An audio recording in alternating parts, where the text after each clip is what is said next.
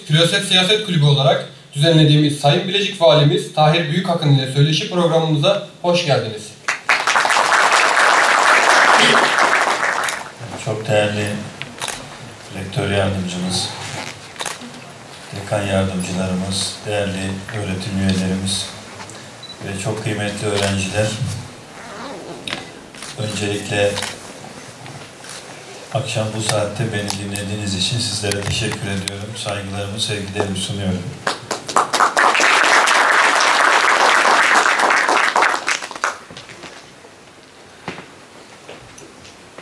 Aslında buraya gelirken bir konu önerisi yapılmadı bana. Dolayısıyla konuyu nasıl seçelim diye de bir süre düşündüm. Sonra bana göre ilginizi çekebileceğini düşündüğüm bir konu belirledim. Birkaç tane meseleyi aynı zamanda konuşabilmemiz lazım. Bunun bir tarafı iktisadi taraf. Ben aynı zamanda bir iktisat doçentiyim. 2007 yılında üniversiteden ayrıldım ama su alabilir miyim? 2007 yılının sonlarıyla üniversiteden ayrıldım. O durmaz herhalde sen.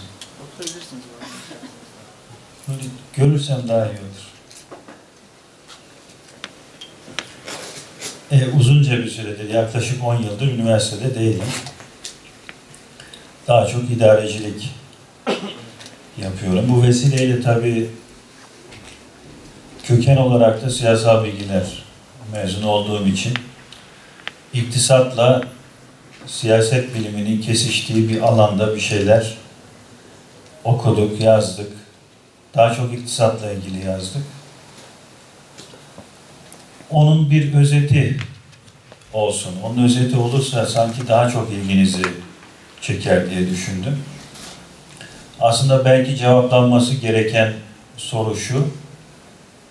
Esasen ülkelerin sistemleri, ekonomik sistemleri, siyasal sistemleri bunlar birer tasarım değil mi? Tıpkı binanın mimarisi gibi.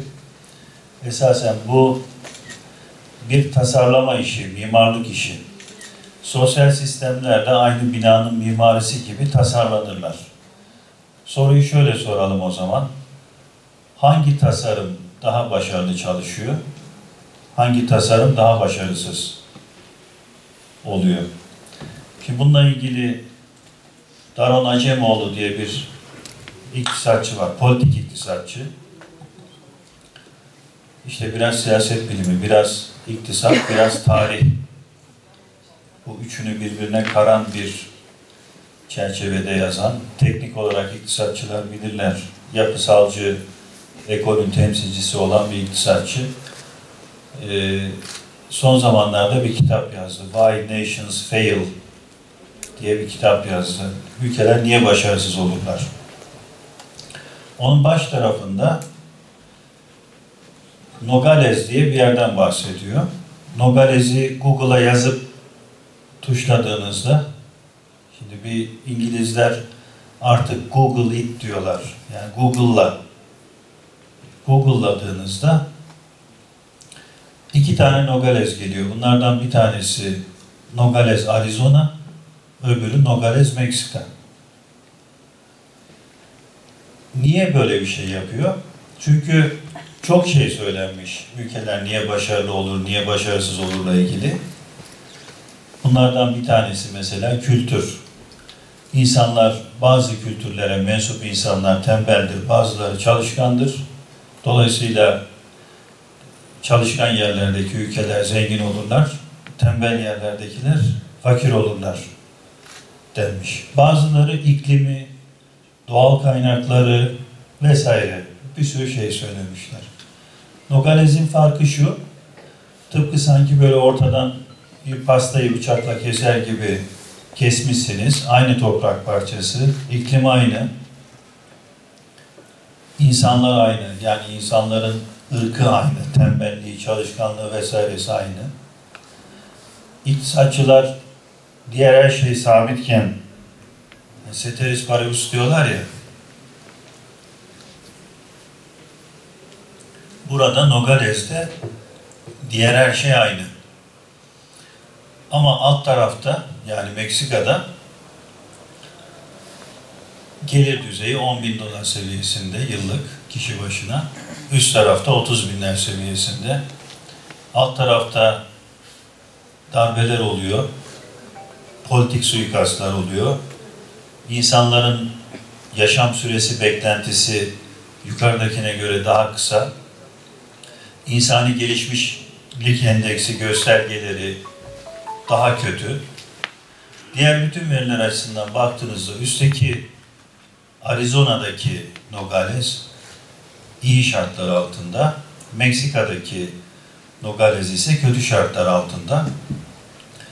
Yazarlar bunu politik kurumlar adını verdikleri, böyle kavramsallaştırdıkları bir şeye bağlıyorlar. Yani üst tarafın politik kurumları zenginleştirici, ilerletici, geliştirici kurumlar, alt tarafın politik kurumları ise geriletici politik kurumlar diyor.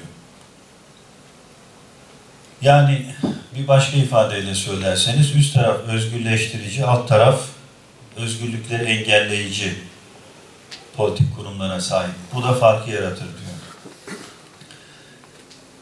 Şimdi sadece politik kurumlar dediğinizde aslında iktisatla siyaset biliminin kesiştiği bir alandan bahsediyorsunuz. İnsanlar iktisadi faaliyetlerini ne tür bir kurumsal dizayn, mimari çerçevesinde yapıyorlar? Aynı zamanda bunun siyasal özgürlüklere karşılık gelen kısmı ne? Yani bir tarafta ekonomik özgürlükler, öbür tarafta siyasal özgürlükler, bir başka bileşeni ise bireysel özgürlükler.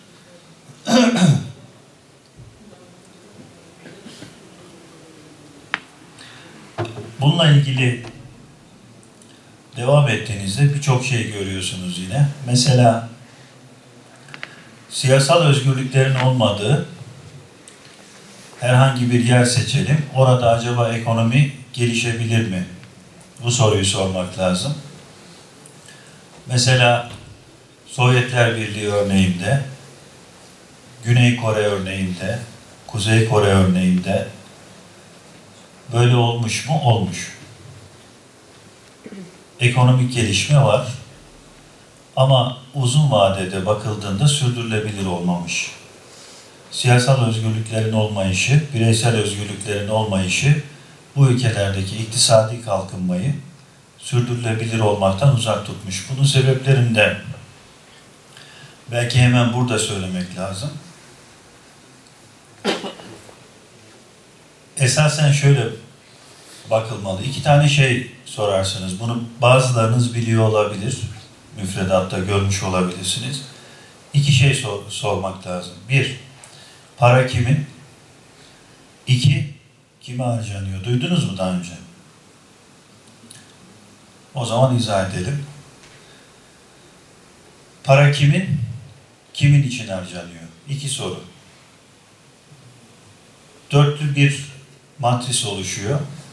Birinci seçenek. Para benim, senin. Kime harcanıyor? Bana harcanıyor, sana harcanıyor. Dört tane seçenek var şimdi. Bir, para benim, bana harcanıyor. Ne yaparım? Elimde bir bütçe var. Şimdi bir ay boyunca harcamanız gereken bir tutar var. Size verilen bir harçlık var diyelim. Onunla lazım olan şeyleri kendiniz harcıyorsunuz değil mi? Ne yapıyorsunuz? Size en lazım olan şeylerden yukarıdan aşağıya doğru sıralıyorsunuz. İşte bir yerde kalacaksınız, onun parası verilecek. Yeme, içme, okul ihtiyaçları vesaire. E bunlar dururken siz bütün paranızı kafeteryada harcarsanız ay sonu gelmez. Dolayısıyla ne yaparsınız? Bir insan kendi elindeki imkanlarla kendine lazım olan şeyleri en iyi şekilde sıralar. Bunu yaparken hem ihtiyaç duyduğunuz şeyi size sağlayacak olan mal ya da hizmetin kalitesine bakarsınız hem de fiyatına bakarsınız. Yani fiyat ve kalite ikisi birlikte dikkate alınır. İkincisi şu, para benim, size harcıyorum. Burada da mesela arkadaşınıza hediye alacaksınız. Para mı önce gelir, kalite mi? Hı? Ne dersiniz? Kalite. Herkes aynı fikirde mi? Para zaten kaliteyi yaratmaz mı? Arkadaşınıza doğum günü hediyesi alıyorsunuz mesela. Samimi olun.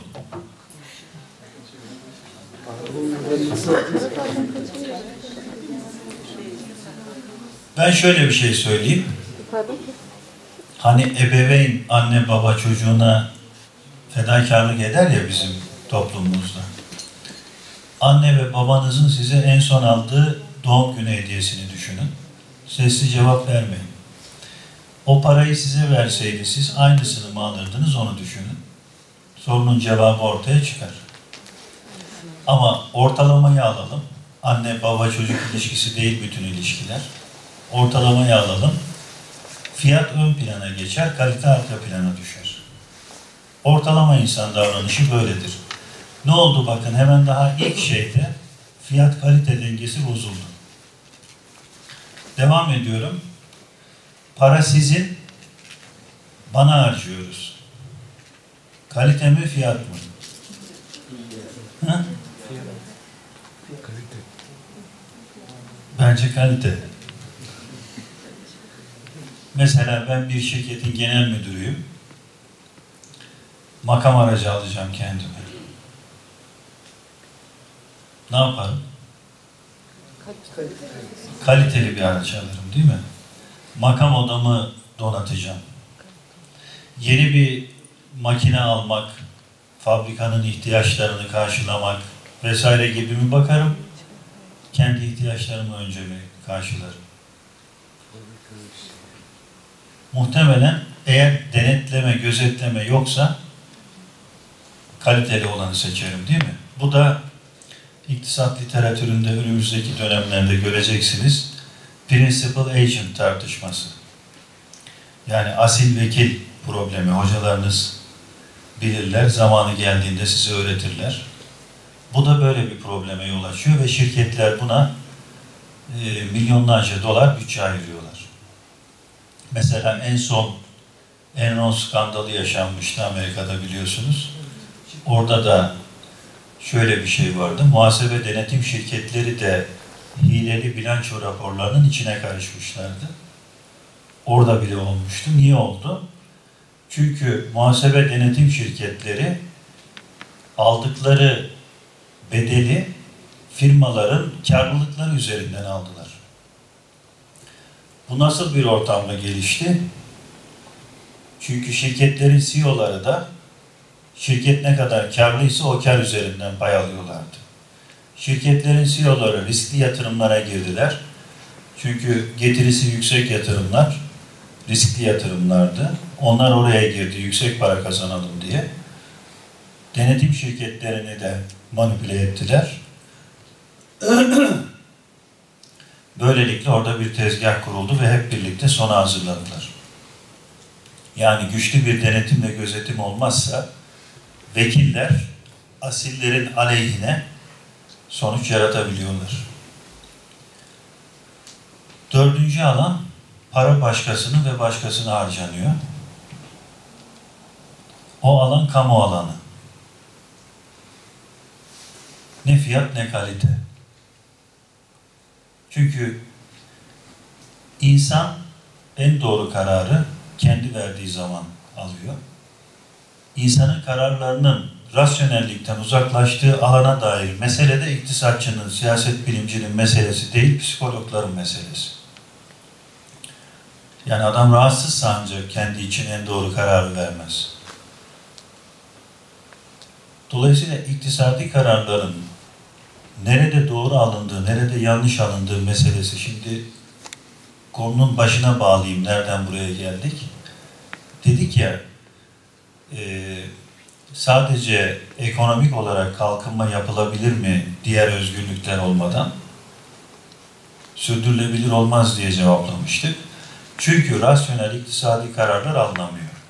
Çünkü kararların maliyetleri doğrudan bir şahsa indirgenemediği için oradaki kararlar iktisadi olarak rasyonel kararlar olmuyor. Mesela Rusya'da verimlilik krizi yaşanmaya başlıyor. Mülkiyet ortak. Kimse kazanç fazla olduğunda bir ekstra alamıyor.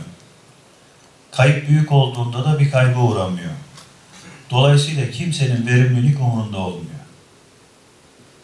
Dolayısıyla ortak mülkiyete dayalı sistemlerin bir verimlilik krizi ortaya çıkıyor.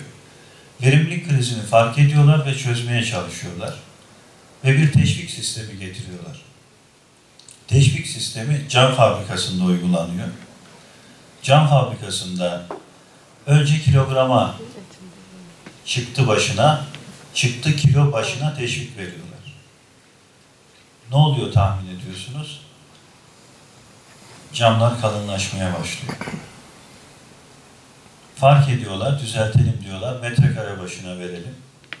Bu sefer de camlar ince Yani teşvik sistemi doğal olmayınca insanlar kendilerine bir şey maliyeti ve faydası kendilerine yansıyacak şekilde o sistemin içinde değillerse verimlilik krizi yaşanıyor.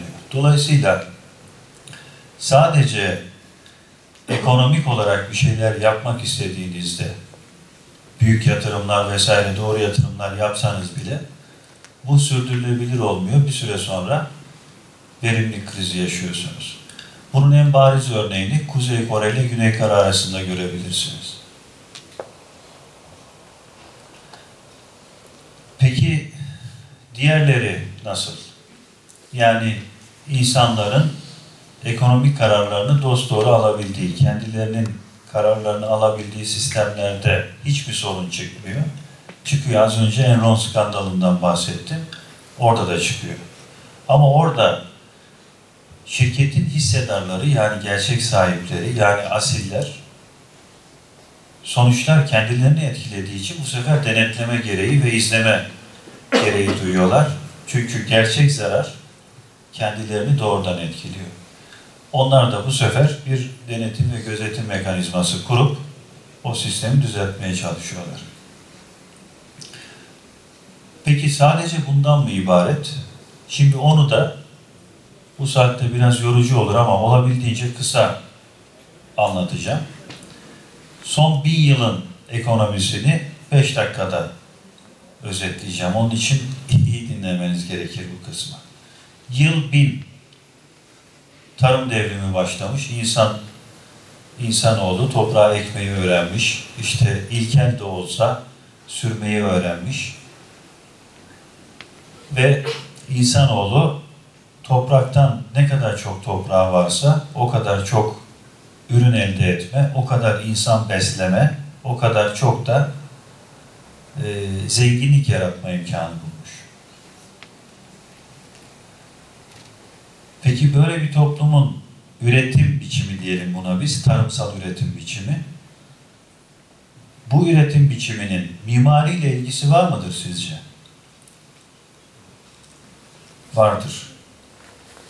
Nasıl vardır? Şöyle vardır, tipik bir köy düşünün. Köyün hemen merkezinde evler vardır. Muhtemelen Müslüman köyü ise cami, Hristiyan köyü ise kilise, işte diğer dinlerde neyse o ibadethanenin adı ondan vardır. Etrafında evler vardır. Evlerin bahçesinde ekilecek, dikilecek küçük parça yerler vardır. Biraz daha dışarıda hayvan bakacak veya daha büyük alanlara ekecek alanlar vardır. Genel kitlesel bir eğitime ihtiyaç var mıdır? Yoktur çünkü yapılan iş çok karmaşık değildir.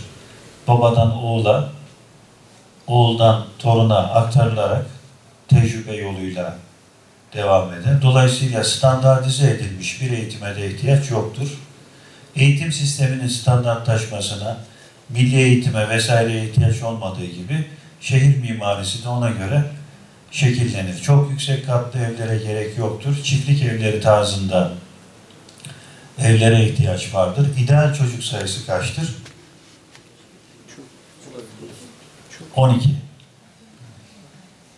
Niye 12? Çünkü hayvanlar bakılacak, ekinler ekilecek, toplanacak vesaire bir sürü şey lazım değil mi? Ve geçimlik ekonomi olduğu için herkes el birliğiyle o işleri yapacak. Eskiden İMC vardı.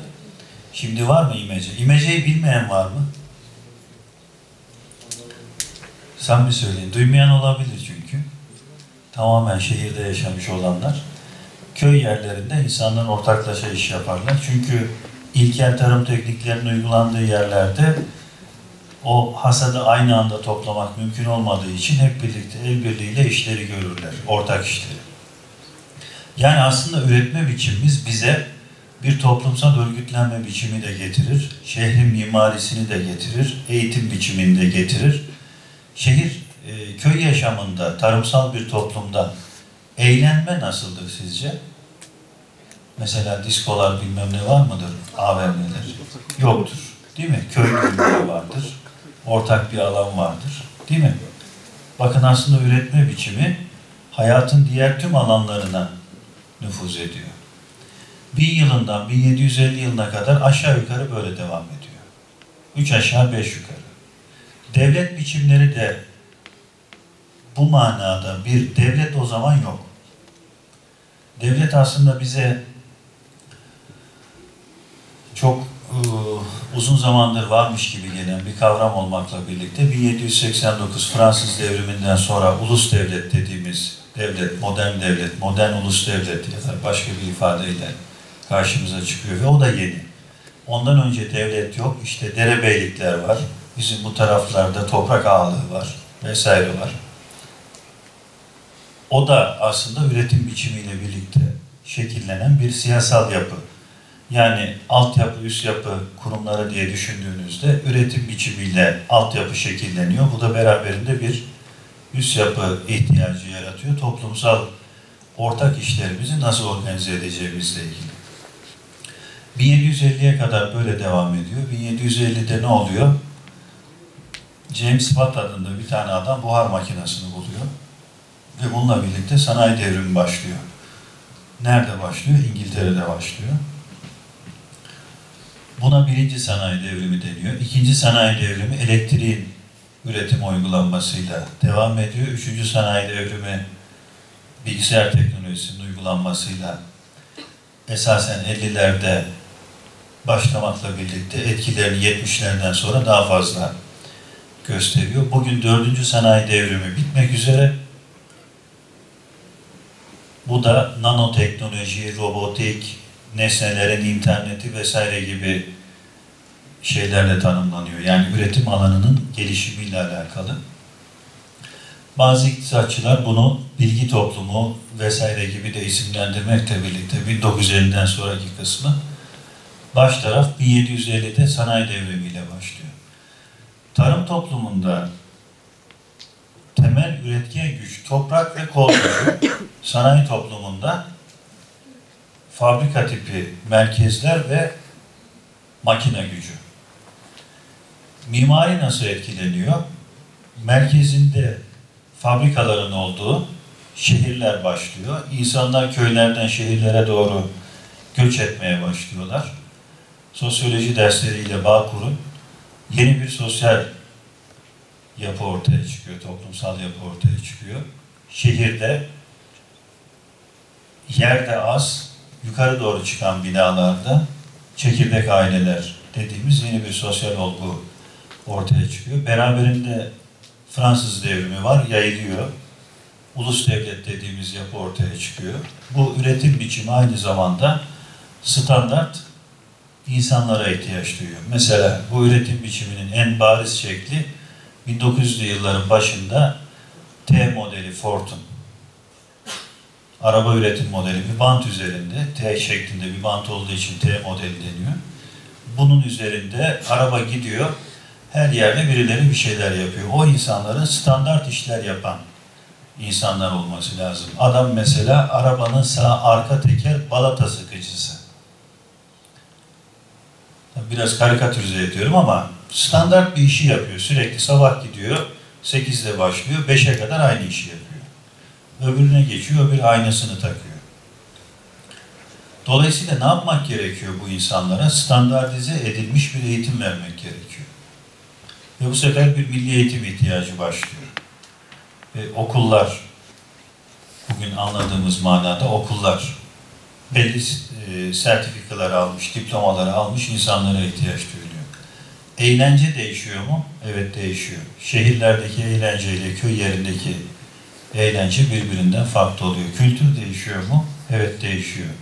Daha kozmopolit bir kültür ortaya çıkıyor. Zaten şehrin adı da daha işte metropolis, kozmopolis vesaire gibi isimler alıyor değil mi? Aslında üretim biçimi ne yaptı? Hayatımızın diğer tüm alanlarına yayıldı. Bir işçi sınıfı oluyor. Bir işveren sınıfı oluyor. Öncesinde ne vardı? Toprak ağası vardı. Bir de orada çalışan bazı toplumlarda köleler, bazı toplumlarda e, toprak işçisi, tarım işçisi insanlar vardı. Şöyle bir kıyaslama yapalım. Tipik bir tarım ürünü alalım. Bu tarım ürünü domates olsun. Domatesin kilosu kaç lira? 4 lira. Tamam 5 lira olsun.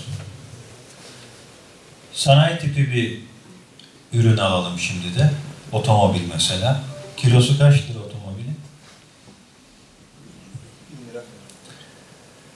Parça başı satıyoruz. Bir ton gelir. Ortalama fiyatı bugün 100 bin liradır. Ne kadar oluyor? Kilosu? 100 bin bölü 1000. Yani 100 lira. Değil mi? Domates ne kadardı? 5 liraydı. Sanayi tipi üretim 100 lira. Yani sanayi toplumu, sanayi tipi üretim yapan toplum 5'e 100 ya da 20 kat daha zengin. Peki bir kilo cep telefonu kaç lira?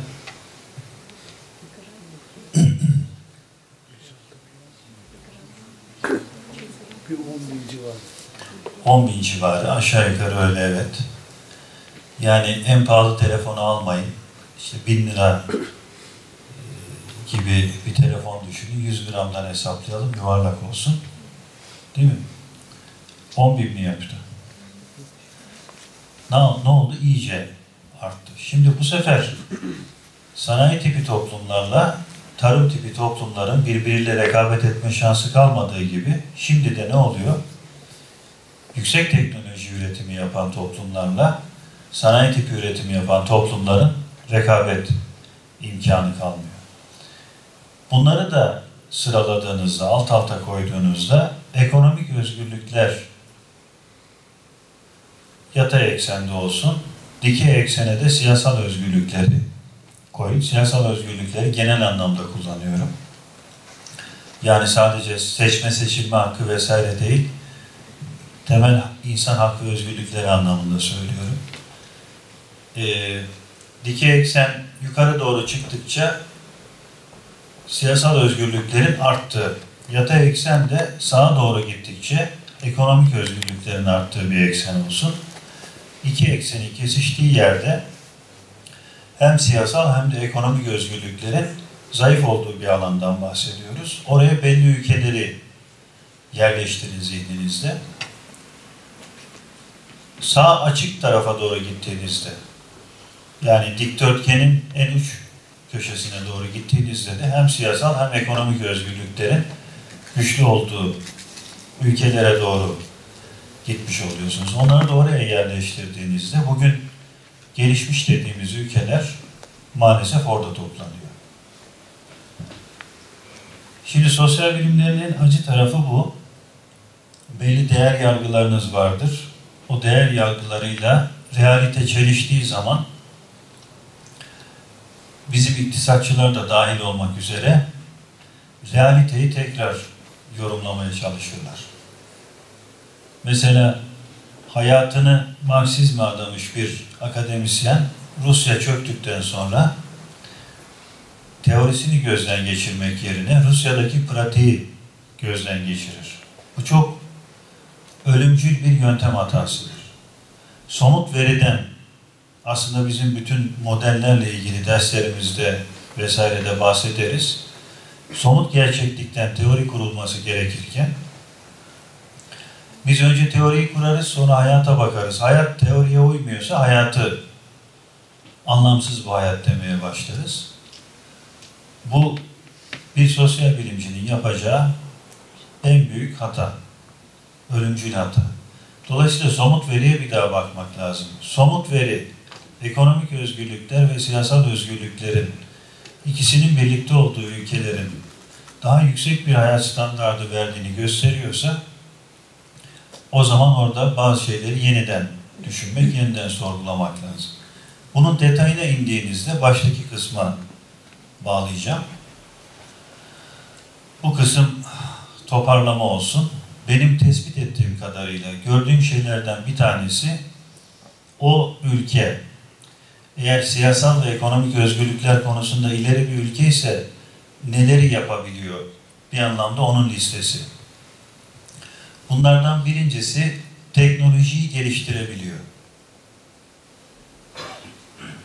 Hızlı bir şekilde bilimsel bilgi üretimi söz konusu olabiliyor. Bu olduğu zaman da teknoloji hızlı bir şekilde ilerleyip üretime uygulanabiliyor. Yine bu ülkelerde insanların eğitimi çok daha yüksek kalitede oluyor. Yani belli şeylerin eğitimin ve öğretiminin yapılabildiği, belli şeylerin kesinlikle konuşulamadığı, tabu haline geldiği ülkelerde zaten eğitimden de bir netice çıkmıyor. Standartize edilmiş, dogmatik, doktriner bir ideoloji çerçevesinde şekillenen bir eğitim sisteminden ideolojik kafalar çıkıyor. Ve o ideolojik kafaların çıktığı yerde de bilimsel gelişme maalesef olmuyor. Somut karşılığı bu. E, örnek derseniz işte Kuzey Kore ile Güney Kore'yi kıyaslayın diyeceğim yine. Sovyetler Birliği'nin Çin'in eski halini gelişmiş ülkelerle kıyaslayın diyeceğim. Oralara baktığınızda bunu göreceksiniz. Eğitim sisteminin çok güçlü bir şekilde organize edilmediği yerlerde teknoloji gelişemiyor. Teknoloji gelişemeyince toplumsal gelişmede e, hayat bulamıyor. Peki bunun dışında hiç mi bir şey yok? Evet var. Bazen çok başarılı liderlerin toplumların hayatında büyük değişikliklere yol açtığını, öncü fikirler ortaya attığını ve bununla birlikte o toplumun normal çıtasıyla yapabileceği, normal kendi gücüyle yapabileceğinin ötesinde, üstünde bazı başarılara ulaştığı görülüyor. Sürdürülebilir olmasa da liderlik ve ruh diyelim, o ülkenin ruhu e, oradaki gelişmeye önemli bir kaynaklık teşkil ediyor. Niye böyle söylüyorum? Son dönemlerde Amerika'da ciddi bir tartışma başladı. Biz kurucu ruha geri dönmeliyiz diyorlar. Çünkü bazı alanlarda yenilgiye uğruyorlar. Bazı alanlarda gerilemeleri, bazı alanlarda standartlarının düşmesi söz konusu. Mesela son dönemlerde Ivy League deniyor. Amerika'nın ilk 10 üniversitesi. Ee, oraya giren üniversite öğrencilerinin, akseptans alan, kabul alan öğrencilerin önemli bir kısmı Singapurlu, Finlandiyalı, Malezyalı, yani Güney Koreli, o bölgedeki öğrenciler. Ve kendi eğitim sistemlerini sorgulamaya başlıyorlar. Bu performans düşüşünü sorgulamaya başlıyorlar. Son dönemde alınan Nobel ödülleri, bilimsel katkılar vesaire açısından Amerikan kökenli, orijinal Amerikalıların geriye düşmesini sorgulamaya başladılar. O özgür ruha, başlangıçtaki ruha geri dönmek gerektiğinden bahsediyorlar. Ruhtan kastettiğim bu. O ülkenin yaratıcı ruhu. Bununla ilgili de zaman bulursanız e, Beyaz Zambaklar Ülkesi diye bir kitap var. Finlandiya'nın hikayesini anlatır incecik bir kitaptır. Yani buradan İstanbul'a ya da Ankara'ya yolculuk yaparken trende başlayıp indiğinizde bitireceğiniz bir kitap. Hikaye, başarı hikayesi Finlandiya'nın yıllarca İsveç'le Rusya arasında işgal altında kalmış bir ülkedir. Bataklıklar ülkesidir. Ama bir eğitim e, hareketiyle birlikte, reformuyla birlikte bütün ülke bir anda işte bugün eğitim sistemi açısından da teknolojik gelişmeler açısından da dünyaya örnek gösterilen ülkelerden biri haline gelmiştir. Yani özetlediğimizde ekonomik ve politik özgürlüklerin birlikte olduğu, insanların e, gerçekten bilimsel eğitime erişim haklarının olduğu ve orada bir standardın tutturulduğu, bunun peşinden e, teknolojinin verimli bir şekilde geliştirilebildiği ülkelerde bir de liderlik ruhu varsa, ülke insanlarında bir ruh varsa, yine örnek olsun diye söylüyorum, Japonya çok enteresan bir örnektir. Ee, Japonya'nın yükseliş hikayesi bizimkine benzer aslında bir imparatorluk mirasıdır Japonya'da. Oradaki e, hikaye bize çok benziyor.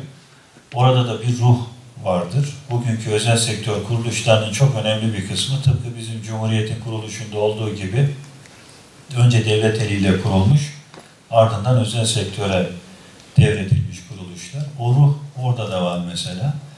Yani güçlü bir eğitim ve ardından gelen ileri teknoloji üretimi güçlü bir liderlik ruhuyla birleşmiş bir toplum ekonomik ve siyasal özgürlüklerle birlikte yukarı doğru gidiyor, diğerleri aşağı doğru gidiyor. Bana göre bu çerçeve e, ülkelerin ne olup yükseldiğini, ne olup düştüğünü, hangilerinin başarısız, hangilerin başarısız olduğunu anlatıyor. Gayet güzel bir şekilde anlatıyor. Son olarak mesela Osmanlı ile ilgili bir örnekle bitireyim. Osmanlı gerilemeye başladıktan sonra herkes bir şeyler yazmaya başlamış. En meşhur risalelerden bir tanesi Koçu Bey Risalesi. Siyaset bilimciler muhtemelen ismini duymuşlardır. Koçu Bey orijinal kuruluş dönemine dönelim diyor. Yani altın çağa dönelim diyor. Eski nizama dönelim diyor. Şimdi bakın kelimeler tanıdık gelecek size. Eski nizama dönelim diyor. Ardından nizamı cedid geliyor. Nizamı cedid ne? Yeni nizam. Çünkü eski nizama geri dönmenin mümkün olmadığını herkes kabul ediyor ve yeni nizama dönüyorlar. Ağırlıklı düzenleme nerede yapılıyor? Orduda yapılıyor değil mi? Eğitimde yapılması lazım, teknoloji alanında yapılması lazım ama orduda yapılıyor. Gerileme ne oluyor? Devam ediyor. Sonra fermanlar dönemi başlıyor. Islahat fermanı, tanzimat fermanı, ardından kanuni esasiyi ilan etmişiz. Değil mi? İlk anayasa 1878 1876 pardon. Ee, sonra Abdülhamit Han payitahttan hepiniz biliyorsunuz. Ondan sonra 1908'e kadar devam ediyor. Ama Türkiye'de siyasal dönüşümü genellikle iç dinamiklerle değil dış dinamiklerle yaptığımız için bütün o fermanlar vesaire e, yabancı ülkelerin bize dayatmasıyla olduğu için o sıkışmalarda her seferinde bizi düzenleyici yapı neresi? Asker ve sivil bürokrasi. Sadece asker değil, aynı zamanda sivil bürokrasi. Vesayet mekanizması sürekli devam ediyor. Padişahın elinden yetkiler kanuni esasıyla alınıp kısıtlanırken her seferinde biz o teşkilat yapısında problemi görüyoruz. Özgürlük meselesinde, bireysel hak ve özgürlüklerde, ekonomik özgürlüklerde vesairede değil, yetkinin kimin elinde olacağı, halka yetkinin ne kadar verileceği, tırnak içinde söylüyorum, koyun halk ne kadar kendi ayakları üzerinde durabilir, bunun tartışmasını yapıyoruz. Siyaset bilimi hocamız vardı, Cemil Oktay rahmetli olduysa, oldu mu? Yaşıyor. Kulakları çınlasın. Ee, Hum Zamiri'nin Serencamı diye bir kitap yazmıştı. Çok enteresan. Hum bir ayet var. Osmanlı uleması o dönemde onu tartışıyor. İşlerinde onlarla istişare ettiği bir ayet. Veşavir hum diyor. Oradaki hum e, onlarla istişare et. Hum onlar demek. Onlar kim? Uzun süre bunu tartışmışlar. Herkes mi? Yoksa seçilmiş falanca falanca falanca mı? Yıllarca bunu tartışmışız. Şimdi en son Cumhuriyet'te gelmişiz demişiz ki o herkes. Cumhuriyet'te herkes mutabık kalmış. Herkes geleceğiyle ilgili sözleri söyleme hakkına sahip demişiz. Ama hala nihai noktayı koymuş muyuz? Şimdi bu çerçeve içinde düşündüğünüzde eğitimle ilgili mevzu dünya standartlarında ölçü alacaksınız. İşletme literatüründe muhtemelen görüyorsunuz. Benchmark diye bir şey var değil mi? Karşılaştırırsınız. Bizim üniversitelerimizden mezun olanlar yurt dışı üniversitelerde hocalık yapabiliyor mu? Bizim liselerimizden mezun olanlar yurt dışındaki üniversitelerde akseptans alabiliyor mu? Standartları böyle koyduğunuzda bizim çıta aşağı düşüyor. O sınavlarda aldığı skorlar, Türk öğrencilerin aldığı skorlar, Finlandiya, Endonezya, Malezya, Singapur dediğinizde biz e, 50'den sonra geliyoruz maalesef. İlk 15'in içinde Amerika 15. Bu da geleceğin dünyasının nerede olduğunu özetleyerek bitsin. Geleceğin dünyası eğitimi en başarılı şekilde, dünya standartlarında eğitimi en başarılı şekilde veren, onu olabildiğince topluma yayan, teknolojiyi üreten ve onu hızlı bir şekilde üretime uygulayan ama ruhunu kaybetmeyen, ruh da lazım çünkü, ruhunu kaybetmeyen ülkelerin olacak. Ve umarım bizim de e, ülkemizin bu konudaki eksikleri hızlı bir şekilde tamamlanarak e, geleceğin dünyasında Türkiye'de güçlü bir şekilde yerini alacak. E, vali geliyor dendiğinde muhtemelen böyle bir e, içerik beklemiyordunuz. Şimdi sizin merak ettiğiniz konular kısmına geçebiliriz. Soru cevap yapabiliriz. Çok fazla uzatmadım. Bu anlattıklarımla ilgili sorular sorabilirsiniz ya da sizin merak ettiğiniz diğer şeyler varsa soru cevap şeklinde devam edebiliriz.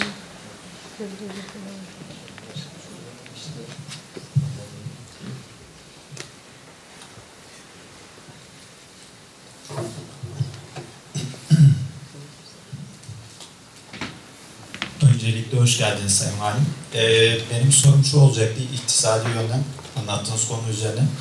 Şu anda e, gündemde olan Türkiye politikası üzerinden baktığımız zaman e, bir teraziye koyduğumuzda Türkiye politikasının değişim mi, gelişim yönünde mi ağır bastığını söyleyebilirsiniz? Yani buna nasıl bir yorum getirirsiniz acaba?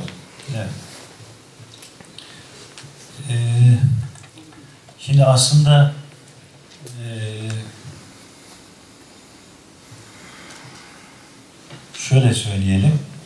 Dünya modern dünya sistem diye bir kavram var. E, Wallerstein diye bir e, akademisyen tarafından kavramsallaştırıldı bu. Modern dünya sistem dizaynını Birinci Dünya Savaşı'ndan sonra yaptı. Birinci Dünya Savaşı'nda e, sınırları çizen, paylaşımı yapan ülkelerin başını çeken ülke İngiltere'ydi. E, Amerika falan biraz daha gerideydi. Savaşa falan çok sonra girdi. Zaten deniz aşırı bir ülke savaşta topraklarında olmadı. Ve çok güçlü bir şekilde savaştan çıktı. İkinci Dünya Savaşı bir anlamda Almanya'nın Birinci Dünya Savaşı'ndaki paylaşıma itiraz savaşıydı. Yani şunları söyleyeyim ama şu şartlarla bunu çok özetleştirerek anlatıyorum. Söylediklerimden başka şeyler çıkarmayın. Hani İkinci Dünya Savaşı Almanya'nın paylaşıma itiraz savaşıdır derken çok özetleştirerek bir şey söylüyorum. Birçok başka şey söylenebilir şüphesiz. Şimdi İkinci Dünya Savaşı'nın ardından da iki kutuplu bir dünya oluştu. Soğuk Savaş dönemi dediğimiz. 89'da Sovyetler Birliği yıkıldıktan sonra karşıda yeni dünya düzenine liderlik edecek veya onun ne olduğunun içini, içini dolduracak bir e, şey tam tamamlanamadı. Bu anlamda 19. yüzyıl aslında 100 yıldan fazla süren bir yüzyıl. Hani biz tarihsel olarak yüzyılları 100 yıl 100 yıl bölüyoruz ama 19. yüzyıl e, biraz 2000'i sarkıyor. Herhalde 2020'lere 25'lere kadar devam edecek. Sistem oturmadı çünkü. Bu dünyaya yön vermeye çalışan güçler var. Şimdi Amerika dediğimizde bir tane Amerika yok. İngiltere dediğimizde bir tane İngiltere, tıpkı bir tane Türkiye olmadığı gibi. Böyle bir dönemde dünyada pastalar yeniden e, paylaşılırken ya da kartlar yeniden karılırken Türkiye'de böyle bir cendelerin içinden geçmeye çalışıyor. Toprak bütünlüğünü e, kaybetmeden, parçalanmadan çok açık bir şekilde e, hani şu ülke bu ülke demek akademisyenken daha kolaydı. E, valilik yaparken daha dikkatli olmak gerekiyor. Onun için Temel'in dediği gibi dilinizin kıymetini bilin hocam. Ee,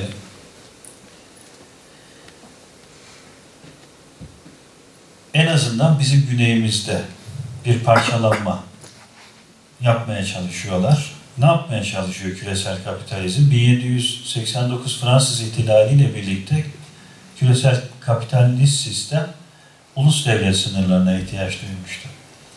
Ve ondan önce ulus devlet yoktu. Şimdi küresel kapitalizmin geldiği aşama itibariyle ulus devletlere ihtiyaç yok. Daha küçültülmüş şehir devletlerine ihtiyaç var. Site devletler lazım. Ve aslında bir anlamda adı konmamış bir imparatorluk olan, adı imparatorluk olmayan Amerika'da dünyaya yön vermeye çalışırken bu bölgeleri e, öyle görünüyor verilerden küçük şehir devletlere bölerek bir imparatorluklar nasıl imparatorluk o bölgeleri birbiriyle çatıştırıp yönetmeye çalışırsa onlar da böyle bir dizayn yapmaya çalışıyor. Benim görebildiğim o. İşte güneyimizde en azından bunu yapmaya çalıştıkları ortada ve dünyanın başka yerlerinde de bunu yapmaya çalışıyorlar. Sesler İspanya'dan geliyor. İtalya'da geçen referandum oldu. Belçika Dışişleri Bakanı durup dururken Flaman bölgesini ayıracağız dedi. Demek ki bütün bu resimleri tek şeyde topladığınızda söyleyeceğiniz şey şu. Küresel kapitalist sistem yeni bir evreye giriyor. Bu evreye uygun yeni bir dizayn yapılıyor. Bu dizaynın içinde de Türkiye bir yerlere oturuyor. Yani Türkiye'den dünyayı okumak mümkün ama dünyada olup bitenden Türkiye'ye gelmekte başka bir bakış açısı ve genellikle o daha sağlıklı oluyor. O zaman hani beylik laflar yerine daha somut, ayağa yere basan şeyler yapıyorsunuz. Türkiye aslında özellikle 1980'den sonra çok ciddi gelişmeler kaydetti. Yani eğitim alanında üniversitelerin sayısının artması, e, mesela belki hocalarım da bana katılırlar. Üniversiteye girmek zorlaştı bizim zamanımıza göre. Yani bugün tekrar bir sınava girsek e, aynı performansı gösterir miydik bilmiyorum. Daha büyük bir rekabet var, daha güçlü bir rekabet var. Benim gördüğüm kadarıyla ben çocuklarımdan biliyorum, daha iyi yetişiyorsunuz. Daha kaliteli bir e, nesil geliyor aşağıdan. E, doğru şeyler yapılıyor, güzel şeyler yapılıyor. Fena da gitmiyoruz. Ama içinden geçtiğimiz periyot e, olağan bir periyot değil. Hani bundan 20 sene önceki koşullar yok. Çok daha zor koşullar içinde gidiyoruz. Ben akademik çalışmaların bir kısmını kriz ekonomisiyle ilgili yapmıştım. Ee, bu şokları Türkiye ekonomisi mesela 90 ile 2000 arasında yaşasaydı krizden çıkmazdı. Bunu çok rahatlıkla söyleyebilirim. Güçlü kamu maliyesi, kamu maliyesinin güçlü temeller üzerine oturuyor olması, özel sektörün daha rekabetçi olması, dış pazarlara açık olması bu krizlerin, şokların etkisini azaltıyor. Ama hiçbir bünye sonsuza kadar e, krizlere dayanıklı değildir şüphesiz. Ama bu sürecin de ben sonsuza kadar devam edeceğini zannetmiyorum. Çünkü e,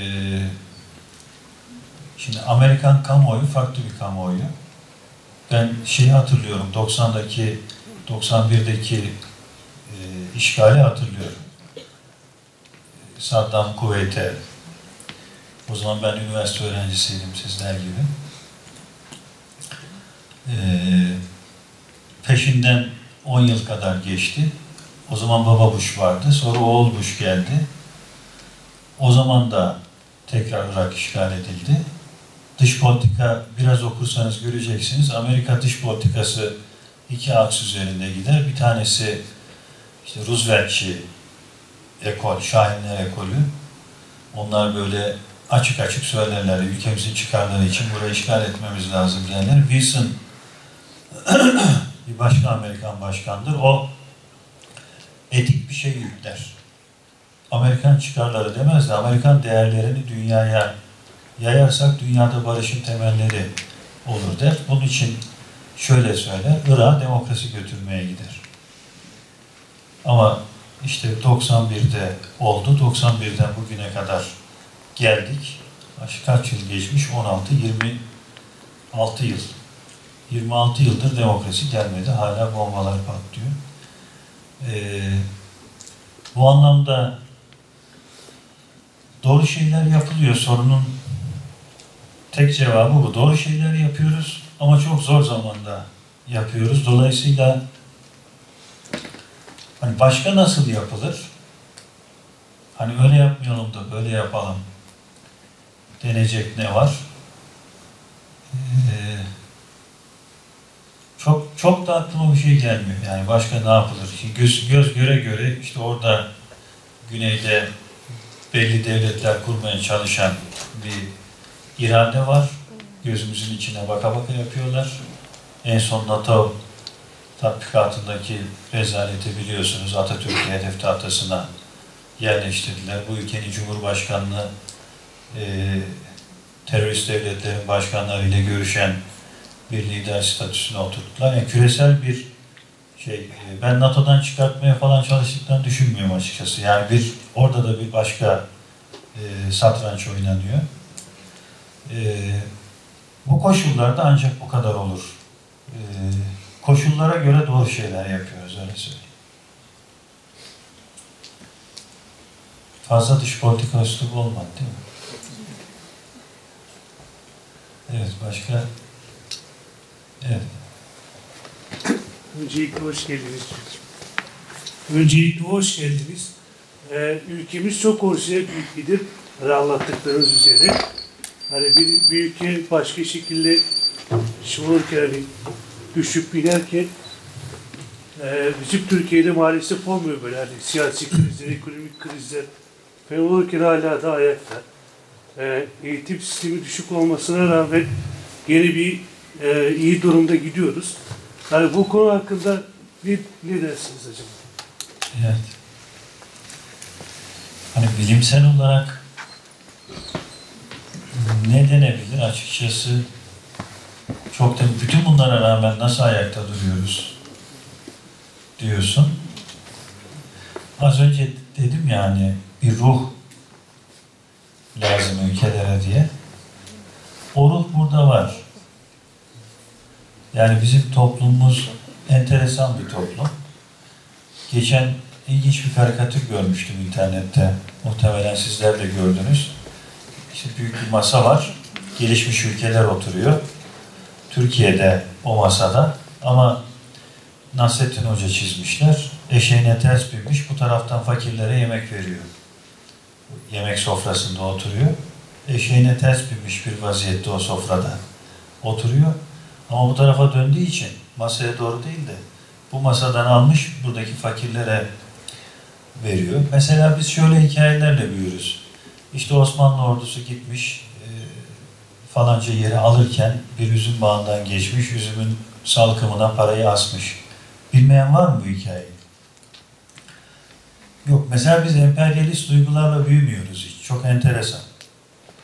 Hani biz gidelim de bir ülkenin topraklarını işgal edelim, onları sömürelim, altınlı gümüşünü e, alalım, kendi ülkemize getirelim. Ama mesela İspanyollar yaptı, İngilizler yaptı, Almanlar yaptı, Hollandalılar yaptı, Fransızlar yaptı. Yapmayan yok. Portekiz yaptı. Hepsi yaptı. kan ve gözyaşı dökmekten hiç çekinmediler. Ama bizim e, toplumumuz gittiği yerlerde böyle bir şey yaptı mı mesela?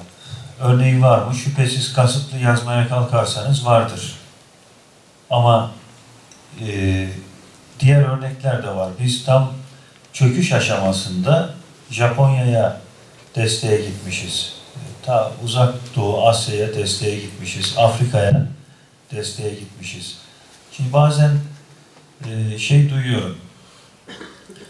E, ya işte kendi ülkendeki insanlarla uğraşamıyorsun da Suriyeli açlara niye bakıyorsun? Dursaylardı ülkelerinin bağımsızlığı için savaşsaylardı. Ki baktığında çok rasyonelmiş gibi görünen ifadeler bunlar. Ama bu ülkeyi her şeye rağmen ayakta tutan e, ruh da böyle bir ruh. Yani dünyanın hiçbir ülkesi. Geçen Norveç'te e, 14 kişiyi yanlış söylemiyorum bakın 14 kişiyi kabul ettiler diye inanılmaz bir medya lansmanı vardı.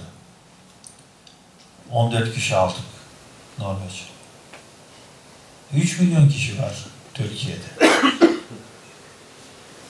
Yani bu ruhu kaybetmezse Türkiye her şeye rağmen düşsek de yine kalkarız. Ben öyle düşünüyorum. Başka bir izahı yok. Bu ruh bizi biz yapan ruh. İşte Çanakkale'de bizi ayakta tutan ruh. İşte bu hep Söğüt ruhu, Söğüt ruhu diyorum. Yani buraya geldim, burada valilik yapıyorum diye söylemiyorum. Gerçekten böyle bir ruh var. Biz kurulurken de bu ruh vardı. Hiçbir zaman yağmacı değildi bizimkiler. Yani hani Türk beklenendir. Türk tabi ırk anlamında bir tanımlama değil bu. Türk beklenendir diye bir söz var ve bu söz doğrudur yani. Tarihsel bir gel. Biz kendi tarihimize bile yabancılaştırılmışız. Yok canım bizimkiler de gitti sömürdü. İşte basbayağı imparatorluktu falan diyor. Hani e, maalesef bazı aydınlarımız bunu söylüyorlar ama tarihsel. Tarihsel gerçeklik de gösteriyor ki biz kan dökülen yerlere gitmişiz. Mesela ben Kocaeli'de doğdum, büyüdüm. Orada üniversite hocalığı yaptım yıllarca. Tökeli İmre diye bir adam var. Macarların Atatürk'ü. Mezarı Kocaeli'nde. Adamı ülkesinden sürmüşler. Öldüreceklermiş. Kaçmış gelmiş bize sığınmış. Mezarı da bizim ülkemizde. Yani bu büyük bir milletiz. Dolayısıyla bunu böyle bir hamaset için söylemiyorum.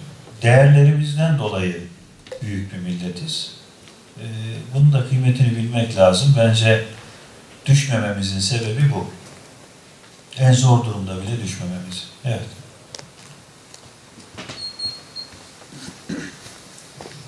Sayın Valim öncelikle hoş geldiniz. Hoş Ee, salondaki diğer öğrenciler benim gibi çoğunlukla siyaset bilimi ve kamu yönetimi öğrencileri.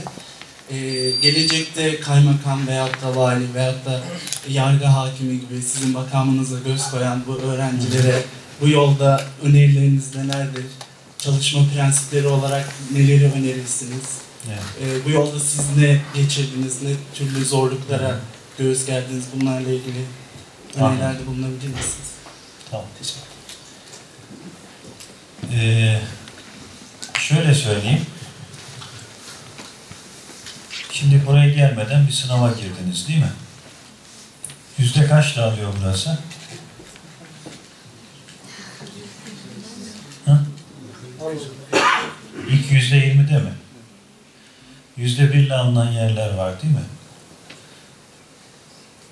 Bildiğim bir şey söyleyeyim size o yüzde birle alınan yerlere giren insanların IQ derecesiyle sizin IQ dereceniz arasında bir fark yok. 130'la yani hatta 120'nin üstü 130 civarında IQ'su olan bir adam üniversite eğitimini çok rahatlıkla yapar. 130 ile 160 arasında kalite farkı, bazı daha karmaşık işlemleri daha iyi yapar vesaire. Ama 160'tan sonra olumsuz etkileri bile var. Mesela sosyopat oluyorlar. Sosyal ilişkilerde başarısız oluyorlar, uyumsuz oluyorlar vesaire. 160'tan fazla IQ kötü. Öyle söyleyeyim. Yani şey için. sosyal yaşamın içinde sağlıklı bir adam olarak hayatını devam ettirmek için. Dolayısıyla IQ sorununuz yok, bunu bilin. Ama yüzde birlik okula değil de yüzde yirmilik okula gelmenizin tek bir sebebi var, o da sizsiniz. Çünkü yeterince çalışmadınız. Buna emin olun. Ben bunu aşağı yukarı 50 yaşına geldim artık. Az kaldı. Çok net biliyorum. Ee, şöyle söyleyeyim size. Samimi de bir itirafta bulunayım, örnek olsun. Ben sanat okulundan mezun oldum. Kimya bölümünden. Ee, kimya bölümünün lise birinci sınıfta matematik vardı. Lise 2 ve 3'te yoktu. Fizik de yoktu.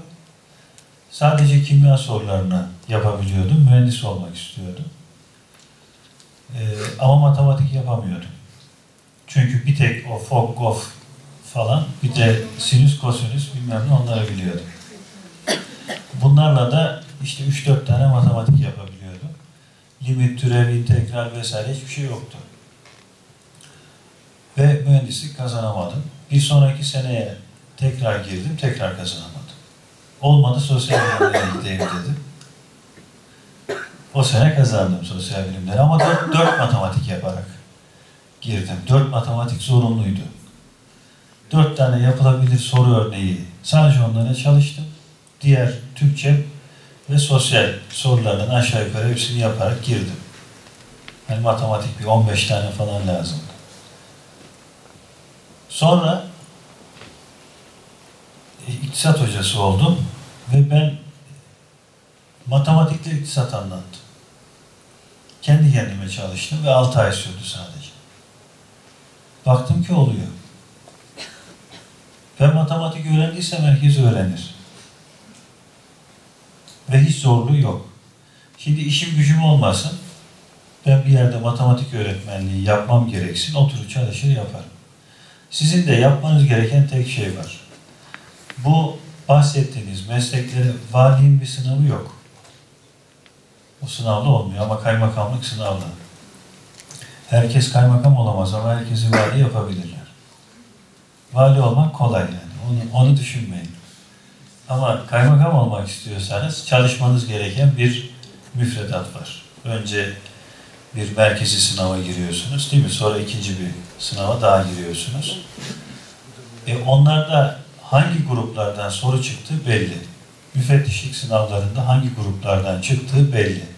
Bizim mezun olduğumuz yıllarda bu aşağı yukarı 8 ay pijamayla evde ders çalışmak demekti.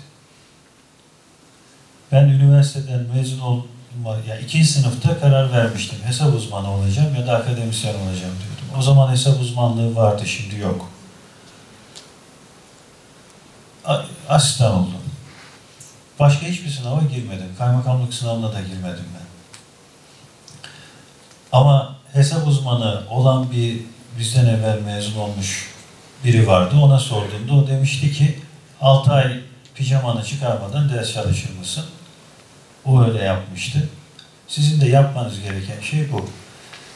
Bana 6 ay ile 8 ay arasında evden çıkmadan, bu tabii sembolik anlatım, şüphesiz çıkacaksınız ama hani günde 8 saat ders çalışma sözü verirseniz ben de kesin bir sınavı kazanacağınızı söyleyebilirim. Sadece yapmanız gereken şey o sınavlarda hangi sorular çıkıyor, o soruların cevapları hangi kitaplarda varsa oturun bir ders programı yapın. Günde 8 saat kapanın çalışın. Ve bu 6 ay ise 6 ay, 1 yılsa 1 yıl hayatınızda yaşanmamış sayın. Böylelikle bir kariyer mesleğiniz olsun ondan sonra rahat edin. Söyleyeceğim şey bu. Ve bunu e, hangi okuldan mezun olduğunuz hiçbir şekilde değiştirmeyecek. Buna emin olabilirsiniz. Sadece 6 ay. Tamam.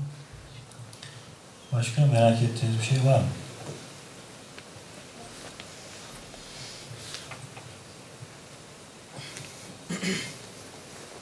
Evet.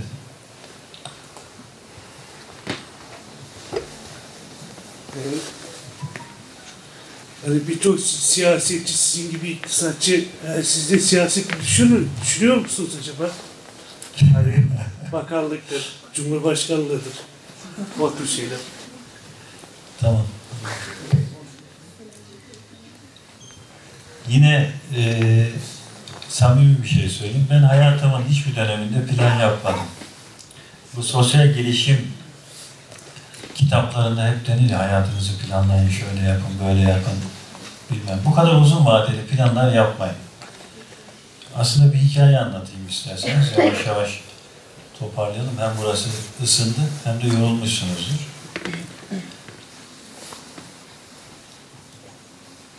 Hoca derse girer, masasına oturur, eğilir çantasından bir kavanoz çıkartır. Bir kısmınız biliyordur, bilenler tekrar dinlesin. Tekrar eğilir, biraz büyükçe ceviz büyü- büyüklüğünde taşları alır, kavanozun içine doldurur. Sınıfa döner der ki, doldu mu? Doldu derler. Tekrar eğilir, onların aralarına girecek büyüklükte daha küçük taşlar alır. İşte çakıl taşı diyelim. Onları doldurur. Tekrar sınıfa döner. Doldu mu der. Doldu derler. Tekrar eğilir. Kum çıkartır. Kumu döker. Tekrar bakar. Doldu mu der. İşte gülüşmelerle evet bu sefer doldu falan denir. Yan tarafta beraberinde getirdiği bir fincan kahvesi vardır. Onu döker. Kum çöker. Bu işlem tamamen dolana kadar devam eder.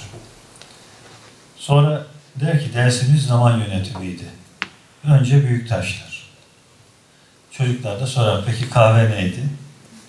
Önce büyük taşları yerli yerine koyacaksın. Ne kadar meşgul olursan ol. Arkadaşlarınla, dostlarınla bir kahve içecek zamanı mutlaka ayıracaksın. Yıllar sonra bu öğrenciler hocalarını tekrar ziyarete giderler. Artık hayatlarında bir yere gelmiş insanlardır. Hocaları emekli olmuştur. Hoca her zamanki gibi onları hoş bir şekilde karşılar. Buyur eder, otururlar. Hoca mutfağa gider. Bir termos kahve ve bir sürü o 5-6 kişiler çok sayıda bu 5-6 kişinin çok fazlasınca fincanla gelir. Değişik değişik fincanlar. İşte kimisi porselen, kimisi cam. Her birinin şekli farklı farklı güzel. Plastik bardak var. Hepsi masaya bakar. Hepsi kendince güzel olan bir tane fincanı seçer ve herkes seçtikten sonra hoca hepsine kahveyi doldurur. Kahvelerini içerler. İşte biraz ho- hoş sohbetten sonra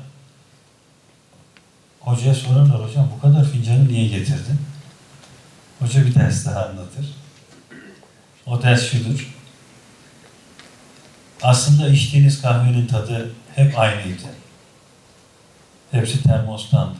Ama hepiniz farklı farklı kaplar seçtiniz. Kiminiz işte renkli olanı seçti, kiminiz porselen olanı seçti. O şekil içtiğiniz kahvenin tadını değiştirmedi. Şekle aldanmayın. Yani hayatınızın tadını, içtiğiniz kahvenin tadını o fincan değiştirmiyor. Bunu unutmayın. Hayata tat veren şeyler başka şeyler. Ne hayata tat verir ne vermez onu iyi ayırt edin. Mesela zengin olmanız, çok iyi bir iş yapıyor olmanız hayatınıza tat verecek anlamına gelmez. Yani insanlar çok çok zengin olabilirler ama çok mutlu olacakları anlamına gelmez. Veya sizin özendiğiniz, hayal kurduğunuz mesleklere sahip olabilirler ama o mesleği yaparken mutlu olmayabilirler. Mesela bana yeniden sorulsa ne iş yapmak istersin? Ben gene hocalık yapmak isterim. Kısmen yani bir vatan borcu olarak yapıyoruz bunları. Onu unutmayın hiçbir zaman. Yani hayatınızın gerçek tadının fincandan değil kahveden olduğunu unutmayın. Böyle tamamlayalım mı? Başka soru yoksa. Yok galiba. Peki.